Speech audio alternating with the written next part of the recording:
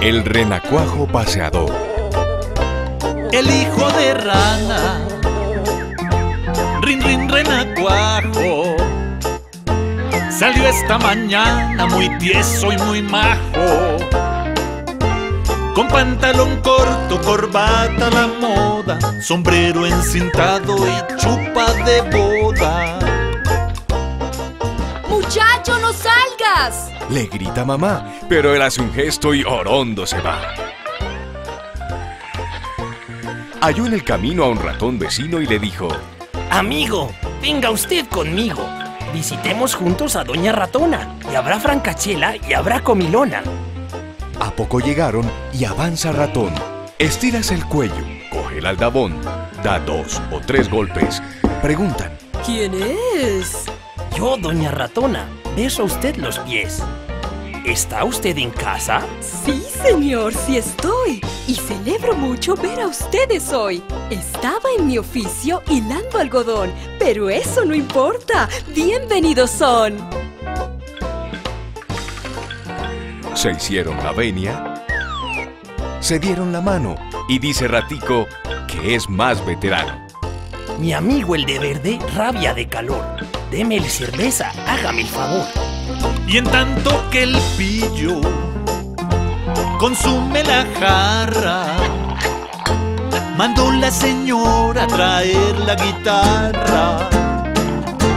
Y a Renacuajito le pide que cante versitos alegres, tonada elegante. Ay, de mil amores lo hiciera, señora. Pero es imposible darle gusto ahora, que tengo el gaslate más seco que estopa y me aprieta mucho esta nueva ropa. Lo siento, infinito. Responde tía rata. Aflójese un poco chaleco y corbata. Y yo mientras tanto les voy a cantar una cancioncita muy particular. Mas estando en esta brillante función de baile y cerveza, guitarra y canción, la gata y sus gatos salvan el umbral. Y vuélvese aquello el juicio final. Doña Gata Vieja trinchó por la oreja al niño ratico, maullándole. Hola. Y los niños gatos a la vieja rata, uno por la pata y otro por la cola. Don Renacuajito mirando este asalto tomó su sombrero, dio un tremendo salto y abriendo la puerta con mano y narices, se fue dando a todos. Eh, Noches muy felices. Y siguió saltando tan alto y a prisa que perdió el sombrero, rasgó la camisa, se coló en la boca de un pato dragón y este se lo embucha de un solo estirón. Y así concluyeron. Uno, dos y tres. Ratón y ratona y el rana después. Los gatos comieron y el pato cenó. Y mamá ranita solita quedó.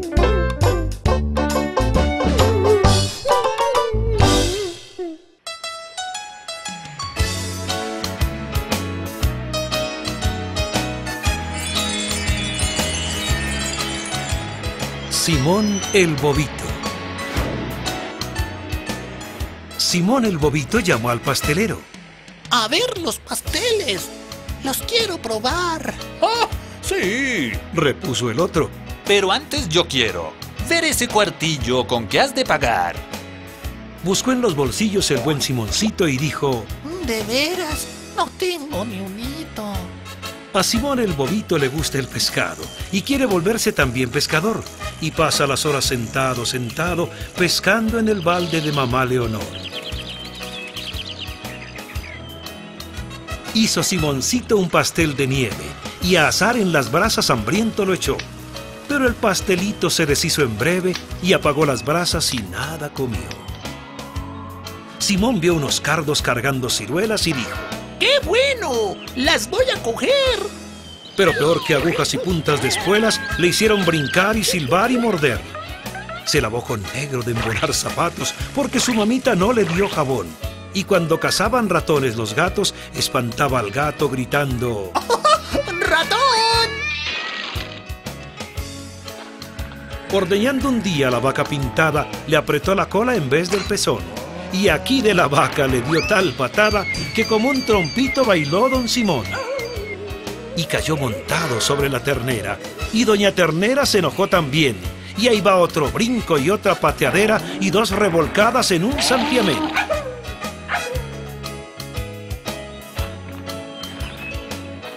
Se montó en un burro que halló en el mercado y a cazar venados alegre partió. Voló por las calles sin ver un venado, rodó por las piedras y el asno se huyó. A comprar un lomo lo envió Taitalucio y él lo trajo a casa con gran precaución, colgado del rabo de un caballo rucio para que llegase limpio y sabrosón. Empezando apenas a cuajarse el hielo, Simón el bobito se fue a patinar, cuando de repente se le rompe el suelo y grita,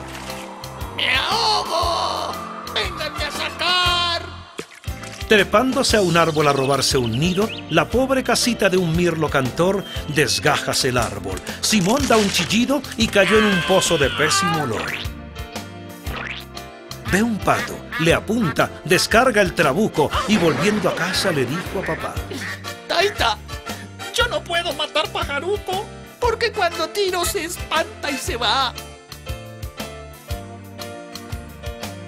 Viendo una salsera llena de mostaza, se tomó un buen trago creyendo la miel y estuvo rabiando y echando babasa con tamaña lengua y ojos de clavel. Vio un montón de tierra que estorbaba el paso y unos preguntaban, ¿Qué haremos aquí? ¡Ja! ¡Bobos! dijo el niño resolviendo el caso. ¡Que abran un gran hoyo y la echen allí! Lo enviaron por agua y él fue volandito, llevando el sedazo para echarla en él. Así que la traiga el buen Simoncito, seguirá su historia pintoresca y fiel.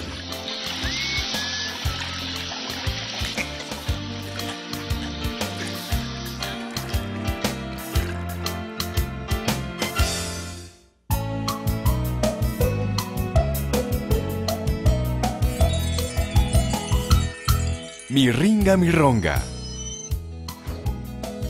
Mi ringa, mi ronga, la gata candonga, va a dar un convite jugando a escondite y quiere que todos los gatos y gatas no almuercen ratones ni cenen con ratas. Mm, a ver mis anteojos y pluma y tintero. Y vamos poniendo las cartas primero. Que vengan las uñas y las fanfurriñas. Y ñoño y marroño y tompo y sus niñas. Ahora veamos qué tal de alacena. Mm, hay pollo y pescado. La cosa está buena. Y hay tortas y pollos y carne sin grasa. ¡Qué amable señora la dueña de casa! Venid, mis michitos, mi rin y mi ron. Id volando al cuarto de mamá Fogón. Por ocho escudillas y cuatro bandejas que no estén rajadas, ni rotas, ni viejas. Venid, mis michitos, mi ron y mi rin. Traed la canasta y el dindirin din.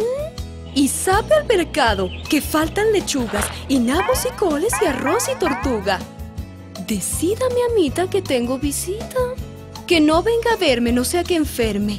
Que mañana mismo devuelvo sus platos, que agradezco mucho y están muy baratos.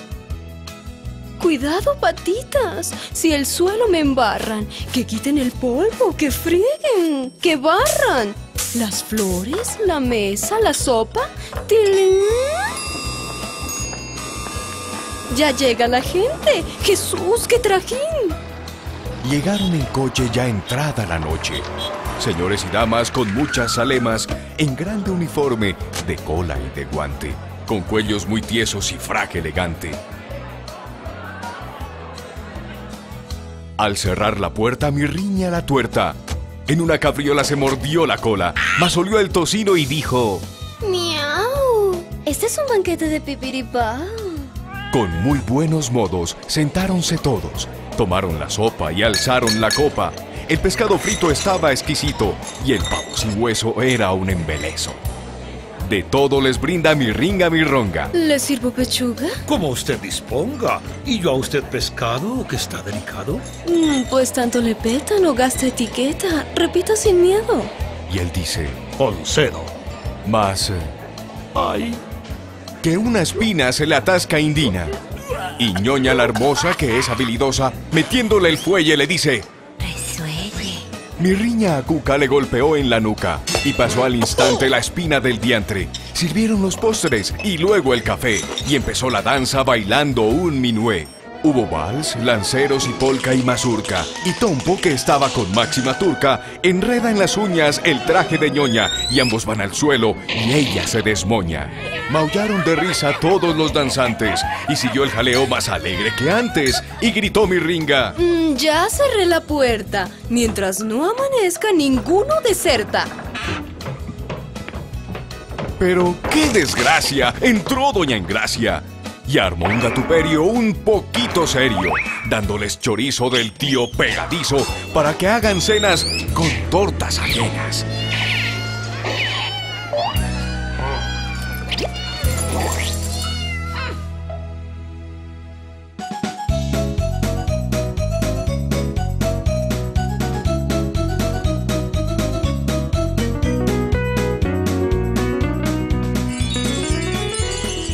La pobre viejecita. Érase una viejecita sin nadita que comer, sino carnes, frutas, dulces, tortas, huevos, pan y pez. Bebía caldo, chocolate, leche, vino, té y café. Y la pobre no encontraba qué comer ni qué beber.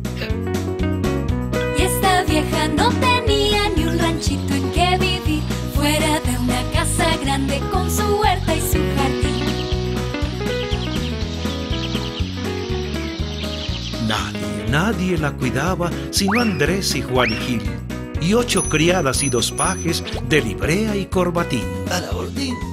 Nunca tuvo en que sentarse sino sillas y sofás, con banquitos y cojines y resorte al espaldar.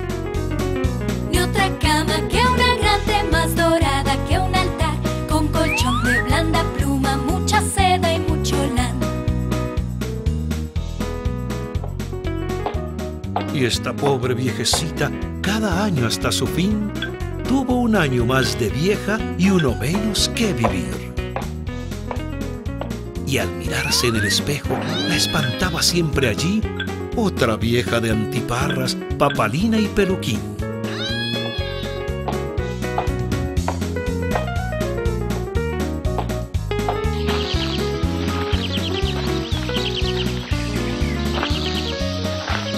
Y esta pobre viejecita no tenía que vestir sino trajes de mil cortes y de telas mil y mil.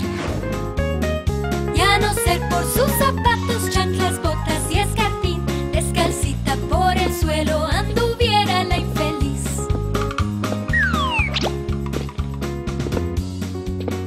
Apetito nunca tuvo acabando de comer, ni gozó salud completa cuando no se hallaba bien. Se murió de mal de arrugas, ya encorvada como un tres, y jamás volvió a quejarse ni de hambre ni de sed. Y esta pobre viejecita al morir no dejó más que onzas, joyas, tierras, casas, ocho gatos y un turpial.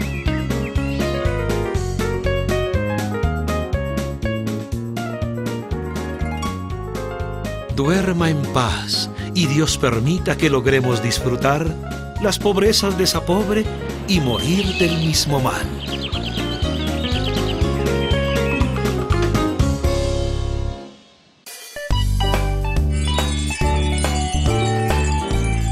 El gato bandido. Michín dijo a su mamá, Voy a volverme pateta. Y el que a impedirlo se meta, en el acto morirá. Ya le he robado a papá daga y pistolas. Ya estoy armado y listo. Y me voy a robar y matar gente. Y nunca más, ten presente, verás a mi chin desde hoy. yéndose al monte encontró a un gallo por el camino y dijo, A ver qué tal tino para matar tengo yo. Puesto en facha disparó. Retumba el monte al estallo. Chin maltrata a Sencayo y se chamusca el bigote. Pero tronchado el cogote, cayó de redondo el gallo. Luego a robar se encarama, tentado de la gasusa. El nido de una lechuza que en furia al verlo se inflama. Mas se le rompe la rama Vuelan chambergo y puñal, y al son de silba infernal que taladra los oídos, cae dando vueltas y aullidos el prófugo criminal.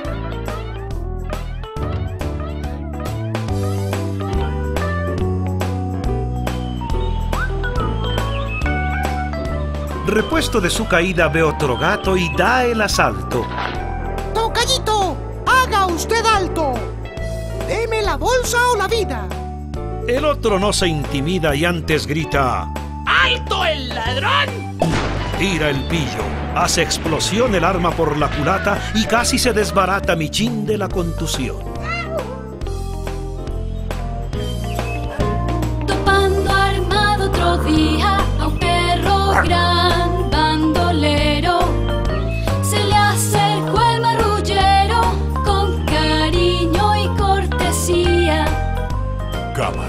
Le decía, celebremos nuestra alianza. y así fue. Diéronse chanza, baile y brandy hasta que al fin cayó rendido Michín y se rascaba la panza. Compañero, Dijo el perro, debemos juntar caudales y asegurarlos reales haciéndoles un entierro. Hubo al contar cierto hierro y grita y gresca se armó, hasta que el perro empuñó a dos manos el garrote. Zumba cae y el amigote medio muerto se tendió.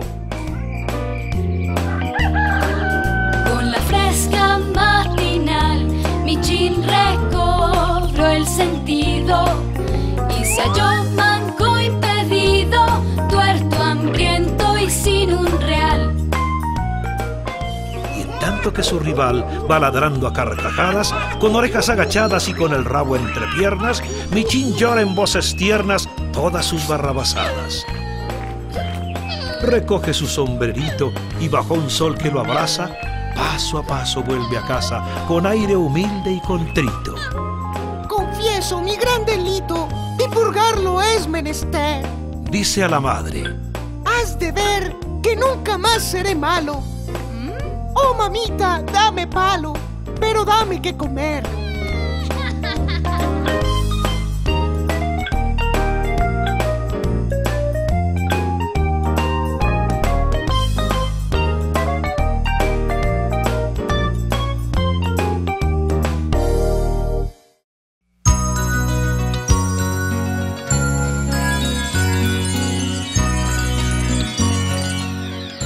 Cutufato y su gato. Quiso el niño Cutufato divertirse con un gato. Le ató piedras al pescuezo y riéndose el desde lo alto de un cerezo, lo echó al río.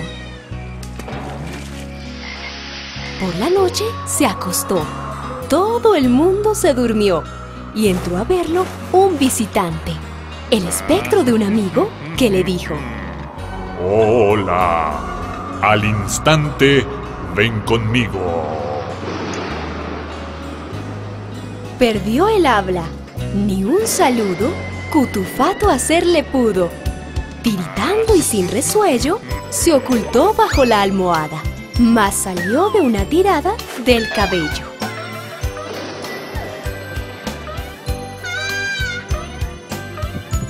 Resistido estaba el chico, pero el otro callandico, con la cola haciendo un nudo, de una pierna lo amarró.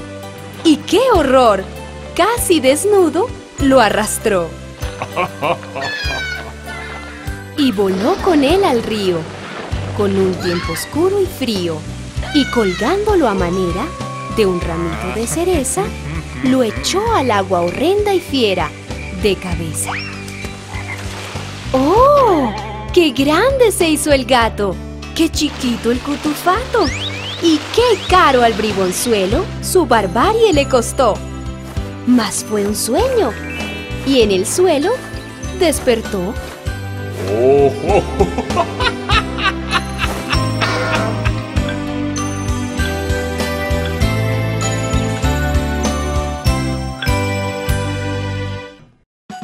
Biografía de Rafael Pombo.